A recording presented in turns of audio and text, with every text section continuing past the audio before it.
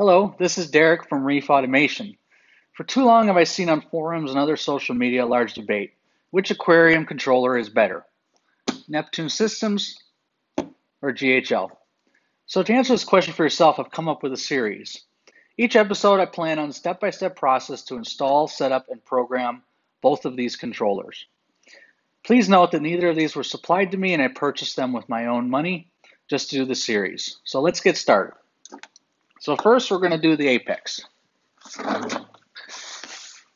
or the Neptune Apex. So it's pretty nice, just out of the box. It has a little window in the front to show you what's in there, which is pretty neat.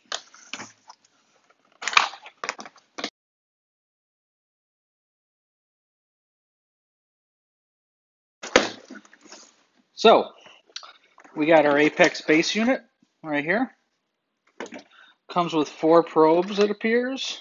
Comes with uh, conductivity, comes with your pH, your ORP, and your temperature probe. Comes with one Aquabus cable, and it comes with your power bar, the EB832 right here. Okay. Also comes with some calibration packets, one calibration packet for salinity and two calibration packets for pH. Comes with some screws to mount. Comes with a little uh, Neptune sticker. So that's the Apex system.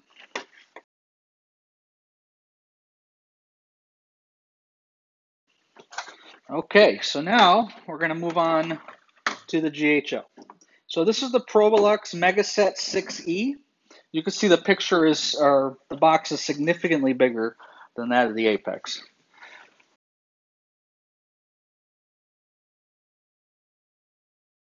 Well, the first thing I notice is there's just a bunch of packing peanuts in here, how it's packaged.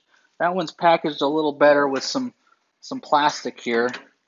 This is kind of all over the place a little bit. But let's uh, remove it. And let's take a look what this guy has. So it's got calibration solution. And looks like we got pH and we got salinity calibration solution. Let's continue. So we got the controller itself right here. So let's open this guy up first. So this is the ORP probe. So they come in these little boxes.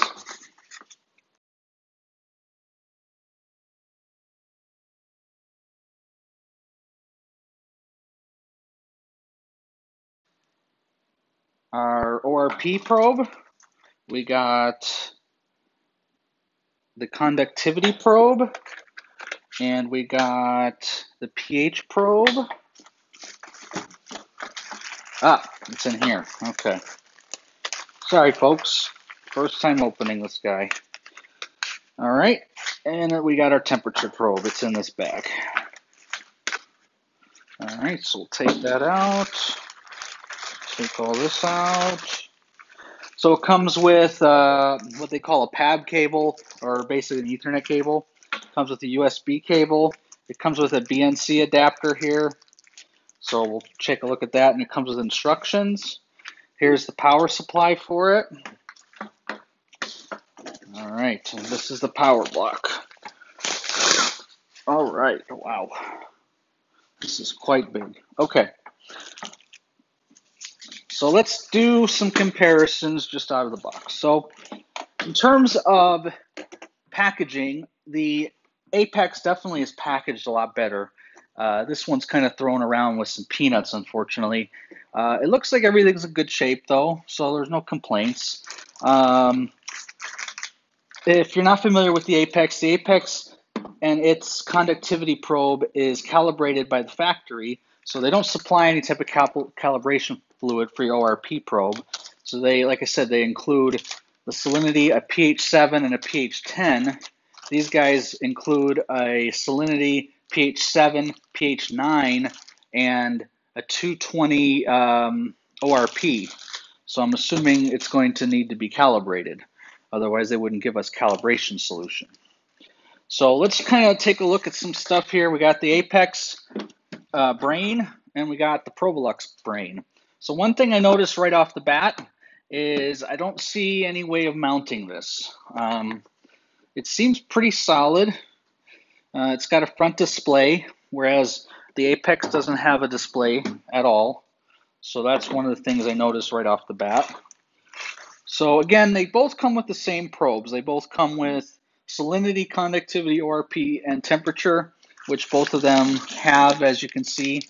Um, one thing I noticed right off the bat is that the Apex itself is powered by the power bar, whereas the GHL is actually powered by its own power supply right here. So that's kind of interesting. All right. I do like that the GHL hooks up with Ethernet connection instead of USB. Um, but like I said, the USB does power it via the energy bar here. All right, so if we're looking at the energy bar compared to the Apex, you can see the size difference. It appears both of them can be mounted, I would assume, uh, anyway, on both of these. This has a little um, mounting plate, whereas this has just some screw holes on the sides. Uh, this has the two PAB connections, whereas this has a lot more connections. It has three um, Aquabus cables. It's got three one link cables and two 24 volt cables on the energy bar itself. And then, of course, it's got eight uh, outlets, whereas this only has six outlets. Um, and as you can see, the outlets are quite large. Um, so I'm not sure why they did it this way. They could have probably fit like two or three. They could probably fit like 12 to 18 outlets right here and then put maybe two of the larger ones on the side. So that's a little interesting. Uh, let's look at the cord lengths. So the cord length, uh, let's take a look. So the Profilux has an actually a, a longer cord than the Apex, uh, just by about a foot or two it looks like. So just some initial thoughts on everything. Everything looks really well built on both ends here. Um, the energy bar is actually a little bit heavier than the GHL. So there's definitely some oomph to the energy bar over this guy. I mean, it's significantly lighter. Um, in terms of weight, you know, the GHL is definitely has a little more meat to it. Um, we're going to go over specifics in the next episode of each uh, brain and what you're getting more specifically and how it all works. But just uh, out of the box, um, we got some some differences, quite quite some differences between the two. And uh, like I said, the energy bar uh, has quite a, a larger size, and you're getting less outlets. So I'm not too keen on that. Um, same probes, same probes, basically the same connections. However, the GHL has a lot more expansions on the actual unit, whereas the Apex is going to require some modules to kind of get it going.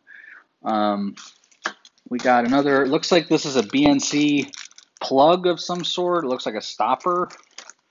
I'm not sure exactly what it's for. We'll have to take a look at that.